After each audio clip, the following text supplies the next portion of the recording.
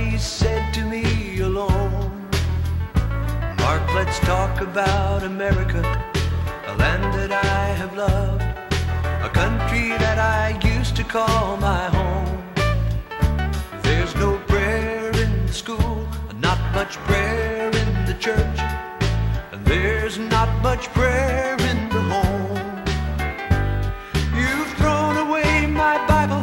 some useless sinful idol, and some days I just feel all alone. I remember how it started on a ship from motherland, how Columbus sailed in 1492. Then in search of Christian freedom from harassment in their lands, the pilgrims came across the mighty blue.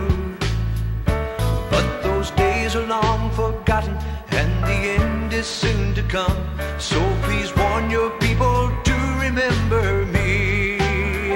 I am coming soon in power. I am coming for my bride. I want your people to be standing on my side.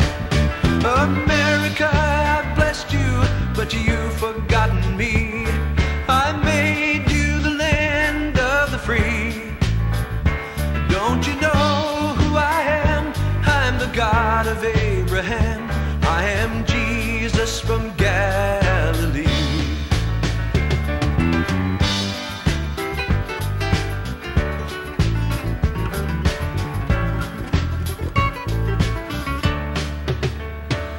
I remember old Ben Franklin, Washington, and Paul Revere.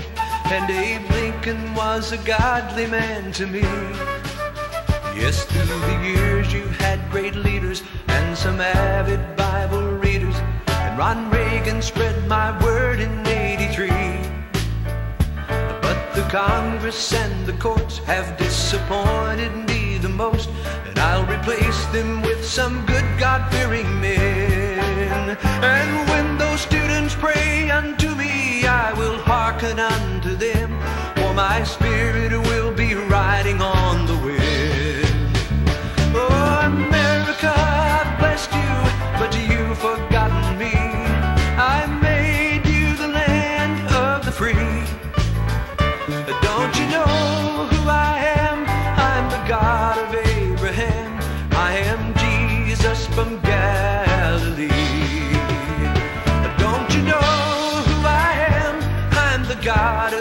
Abraham. I am Jesus from Galilee.